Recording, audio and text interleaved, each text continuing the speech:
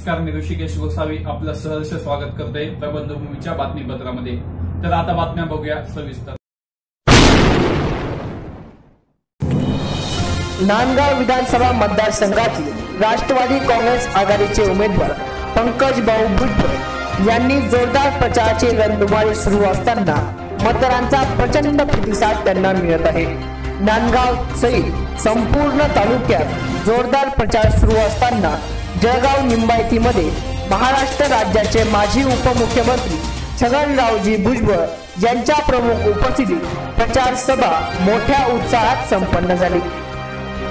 संकल्प बोल के हम तो निकल पड़े हर द्वार खोल के गगन कहे विजयी भव विजयी भव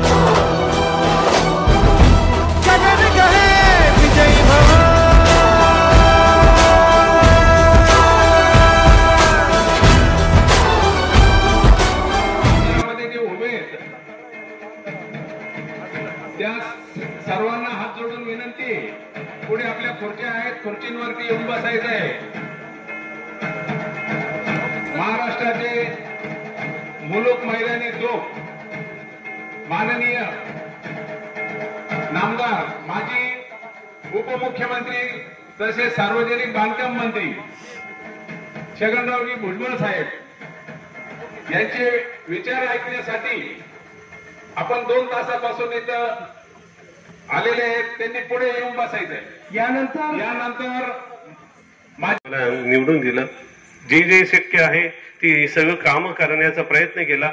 मी हे म्हणत नाही की शंभर टक्के आम्ही सगळ्या कामांमध्ये यशस्वी राहिलो. पण आम्ही ठामपणे सांगू शकतो की ऐंशी टक्के कामं जे आहेत डोळ्यांनी दिसणारे जे आहेत आम्ही करून दाखवलेले हा जो आहे विकास पुढे चालू ठेवण्यासाठी मी पुन्हा एकदा आपल्याला विनंती करायला आलोय.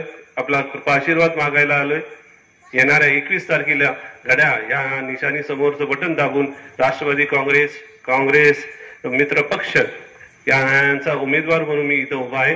तर येणाऱ्या एकवीस तारखेला आपण सर्वांनी घड्या या निशाणी समोरचं बटन दाबून आपण पुन्हा पुन्हा एकदा विकासाला साथ द्या. पुन्हा एकदा आम्हाला आशीर्वाद द्या आशीर्वाद द्यावा. हीच विनंती करतो. जय हिंद जय महाराष्ट्र. धन्यवाद पंकज भाऊ. दादा काँग्रेसच्या वतीने बोलणार आहे. मी आपल्या सगळ्यांना फक्त एकच विनंती करतो. का आपलं भविष्य? आणि आपल्या करावा लागणार. त्याचं कारण असं आहे बांधवांना का पंकज भाऊनी गेल्या दहा वर्षामध्ये मी पहिली निवडणूक अशी आहे का पहिली दोन हजार नऊची निवडणूक मीच पंकज भाऊच्या विरोधात लढली दोन हजार चौदा पंकज भाऊच्या विरोधात प्रचार केला अनेक वेळेस पंकज जर कधी शंभर लोकांना फोन केले दिवसभरामध्ये. तर अठ्ठ्याण्णव लोकांना सांगितलं भाऊ आता कुणाचा निर्णय घ्यायचा नाही पंकज भाऊला मतदान करू राष्ट्रवादीला मदत करू. पण या मतदार संघामध्ये येणारं संकट आपण त्या माध्यमातून पंकज भाऊच्या माध्यमातून टाळू. आणि म्हणून पंकज भाऊ तुम्हाला पाठिंबा दिला. या ठिकाणी मी आपल्याला सगळ्यांना विनंती करतो का एकवीस तारखेला घड्याळाचं बटन दाबावं. आणि पंकज भाऊला प्रचंड मताने निवडून द्यावं हीच विनंती जय हिंद जय महाराज झालं ते माझे आमदार संजय पवार अनिलदादा आहेर माझे आमदार राजेंद्र भोसले बाळासाहेब साळुंके संतोष अण्णा रतन आवार औदुंबर रंधाळे राशन तेजा डॉक्टर पडांगे सखाभाऊ सुकळे आणि उमेदवार काँग्रेस राष्ट्रवादी काँग्रेस पक्षाचे उमेदवार पंकज भाऊ. मी सर्वप्रथम आपली माफी मागतो कारण ही निवड सभा मला असं वाटतं निदान तीन तास तरी उशिरा चालली असणार. आणि मी मी अगोदरच सांगितलं होतं आज डॉक्टर बाबासाहेब आंबेडकरांची जी आहे धर्मांतराची जी घोषणा झाली येवल्याच्या मुक्तीभूमीवरून तिथे आपण प्रचंड मोठा स्तूप उभा करून बावीस फुटाची गौ- गौतम बुद्धाची मूर्ती आणि बाबासाहेब आंबेडकरांचा मोठा ब्रॉन्झचा पुतळा उभा केला तिथे आज तेरा ऑक्टोबरला तेरा ऑक्टोबर एकोणीसशे पस्तीसला डॉक्टर बाबासाहेब आंबेडकरांनी जाऊ देत नाही. आता याला काय म्हणायचं? हा कसला कसला अन्याय आहे? हो एक टेलिफोनची जे आहे समजा मोबाईलचा भाव वाढला कपड्याचा भाव वाढला चष्म्याचा भाव वाढला. सरकार कधी बोलत नाही भाव कमी करा. कांद्याचा भाव वाढला अन्नधान्याचा काय भाव वाढला? शेतकऱ्याचा आहे ना काय? चला. भाव कमी करते हे वेग- वेगळे होते. सिन्नर मधून निवडून यायचे मला बरोबर ना? व्ही एन नाईक शिक्षण संस्था आहे म्हणजे ना तिच्या त्यांचं जन्मशताब्दी होती. आम्ही असे स्टेजवर बसून कार्यक्रम सुरू होता. पवारसाहेब येऊन बसले होते.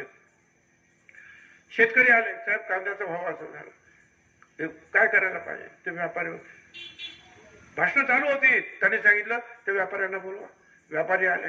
व्यापारी म्हणाले साहेब हे एक्सपोर्ट जो आहे निर्यात जे आहे ते एकदम पोलीस सुद्धा बाजूला होऊन पळून गेले होते बघा. पण तुमच्या आशीर्वादाने मी वाचलो. असं अनेक वेळा वाचलो तुमचा आशीर्वाद आहे म्हणून तुमचे सगळ्या महाराष्ट्राचे आशीर्वाद आहे. आता सुद्धा जे आहे त्यांना माहिती आहे सरकार याच्यामुळे गेलं आमचं पंच्याण्णव नव्याण्णव त्यामुळे आता सुद्धा याला तोंड बंद करा आतमध्ये ठेवून द्या. आणि बस खोटी केस टाकून दिली. महाराष्ट्र सदन. त्या महाराष्ट्र सदनाचं कॉन्ट्रॅक्ट मी दिलं नाही. ते मंत्रिमंडळानं दिलं. म्हणजे या शिवसेना बीजेपीच्या विरुद्ध असलेले जे लोक असतील उमेदवार त्या उमेदवाराच्या विरुद्ध मतदान करा पाहिजे. काँग्रेस राष्ट्रवादीचे उमेदवार निवडून द्या. राज्य पवारसाहेबांचं सोनिया गांधी यांच्या मार्गदर्शनाखाली जर सुजलाम सुफलाम होत होता प्रश्न सुटत होते. महागाई थोडी थांबली होती. नोकऱ्या मिळत होत्या. मनमोहन सिंगनं सगळं व्यवस्थित चालवलं होतं. अशा प्रकारची राज्य आणि देश पर त्या लोकांचा पहिला क्रमांक. कर्जबाजारीपणात पहिला क्रमांक. वाढत्या गुन्हेगारीमध्ये पहिला क्रमांक. कंपनी बंद पडण्यामध्ये पहिला क्रमांक. सरकारी शाळा बंद पडत आहेत पहिला क्रमांक. याच्यामध्ये पहिला क्रमांक. बाकी कशात परा पहिला क्रमांक माझी आपल्याला विनंती आहे ह्यात आज राज्य अख्ख्या हिंदुस्थानात एक नंबर होत. पण आता हळूहळू ते फार मागे गेले. कामधंदे बंद पडत चालले. आणि अशा वेळेला आपल्याला त्यांच्या विरुद्ध कोणी बोलायचं नाही. हा एकवीस हजार रुपयाच्या वर असला पाहिजे हे आमचं ध्येय आहे.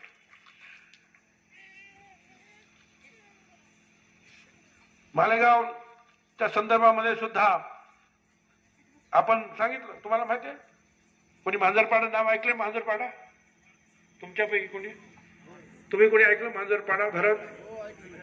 गुजरातला जाणारं पाणी दिंडोरी चांदवड एवढ्या मार्गे आम्ही घेऊचा कारभार कोण करणार हे तुम्ही ठरवणार. लोकसभेत मतदान करू. आता आपण मागची लोकसभा झाली. आपण पाहतोय काय काय सुरू आहे. कांद्याचाच का तुमच्याकडे कांदे आहेत की नाही भरपूर कांदे आहेत.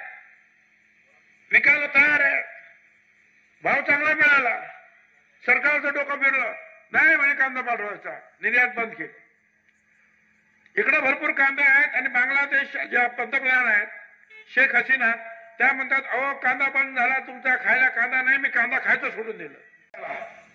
की बाबा आता मला तुम्ही जे आहे मतदान करायला पाहिजे एकवीस तारखेला. तो शेतकरी हुशार होता. त्या शेतकऱ्याने सांगितलं बरोबर आहे. दिलं पाहिजे तुम्हाला मतदान. देऊ. पण एक काम करा. तुम्हाला माझं मत पाहिजे असेल तर माझ्याकडे ऑनलाईन अर्ज करा. मग नवरा बायको दोघंही माझ्याकडे या. सोबत आधार कार्ड आणा रेशन कार्ड आणा रहिवासाचा दाखला आणा सातबारा आणा ही सगळी कागदपत्र घेऊन या. त्यानंतर मला जशी तुम्ही तत्वत कर्जमाफी दिली त्याच पद्धतीनं मी सुद्धा तुमच्या कागदपत्राचा अभ्यास करीन. आणि तुम्हाला आमदार होण्याच्या दृष्टीनं तुम्ही लायक आहात की नाही हे मी तत्वता ठरवेन. कोणाला कर्जमाफी मिळाली ना पण मी तुम्हाला सांगतो काँग्रेस राष्ट्रवादी काँग्रेसचं सरकार येणार आणि शंभर टक्के कर्ज माफ नाही केलं तर नाव नाही सांगणार आम्ही. पवार साहेबांनी सुद्धा सांगितलेलं आहे.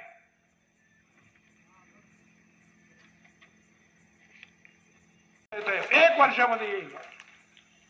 मी त्यांच्या डोक्यावर जाऊन बसणार आहे आणि सांगणार आहे की हे तुम्ही करा बघायला चला. पाहिजे तर अख्खाच्या अख्खं विधानमंडळ चला आणि माझ्यासमोर बघा कसं काय काम. कारण अशा प्रकारचं काम देशात अजून कुठे झालं नाही महाराष्ट्रात अजिबात झालं नाही. ते आपण केलेलं आहे. ह्या हिमतीनं जे आहे आपल्याला हे काम करायचं आहे आणि म्हणून मला आपल्याला विनंती करायची आहे की या सरकारच्या विरुद्ध किती बोलावं तेवढंच कमी आहे. हे जे आहे महाराष्ट्र पहिला पहिला आहे सांगता. आता पहिला कशातून नाही सांगा? आदित्य ठाकरे गेले. म्हणाल मी ते होऊ देणार नाही झाडं तोडू देणार नाही. सगळ्यांनी सांगितलं झाडं तोडायचे नाही. महानगरपालिका शिवसेनेची ज्यांच्या एरियातले येत. पर्यावरण खात्याचे मंत्री रामदास कदम ते शिवसेनेचे. आणि एका रात्री सरकारचे लोक आले आणि अडीचशे मोठी मोठी झाडं कापून टाकली. खच पाडला. आणि मग उद्धवराव ठाकरे म्हणतात माझं सरकार येऊ द्या मी बघतो. तुमचं सरकार कसं आहे? मग आता तुमचं सरकार नाही आहे. मग आता कोणाचं सरकार आहे?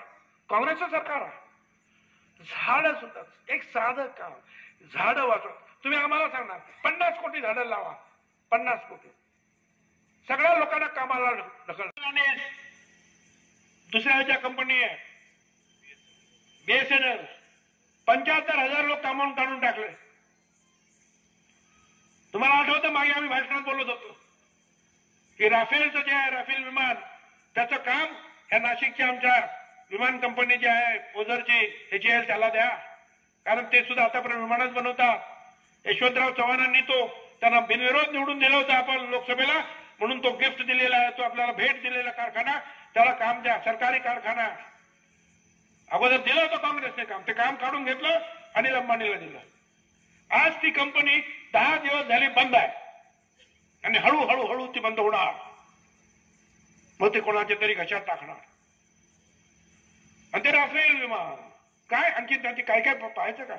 लोकांचं लक्ष इकडून तिकडे नेण्यासाठी चर्चेला वेगळं वळण देण्यासाठी. राजनाथ राजनाथ सिंग तिकडे गेले. हे ठीक आहे ओम वगैरे काढला त्या विमानावर. आपल्या कुंकवाने ठीक आहे. नंतर नारायण घेऊन हे महाराज चढले. आम्हाला वाटलं त्या विमानाला जंतू होता का? काय काय नारळ पण नाही त्याने आपला ठेवून दिला. ते फॉरेनर लोक बघत असले नारळ नारळ काय कशाला ठेवले नारळ ते तर नारळ तो पाणी पिणे का होता? हे होता है क्या होता? नंतर ते बघतात ते चाकाखाली दोन मोठे मोठे लिंबू ठेवले. ते आणखी चाकाखाली लिंबू कशाला? हे विमान जायचं ते लिंबाचं काय? ते कशासाठी? राफेल कशासाठी? आपलं संरक्षण करण्यासाठी. आणि राफेलचं संरक्षण व्हावं म्हणून लिंबू. आता जर असं असेल तर मग ते राफेल कशाला पाहिजे? लिंबच लावा ना सगळीकडे त्या बॉर्डरवर होईल आपलं संरक्षण. किती अंधश्रद्धा. महात्मा ज्योतिराव फुल्यांपासून सावित्रीबाई फुल्यांपासून सगळ्या आंबेडकरांपर्यंत सगळ्यांनी शिक्षणाची कास असतात रयत शिक्षण शिक्षणचे जे आहेत आमचे.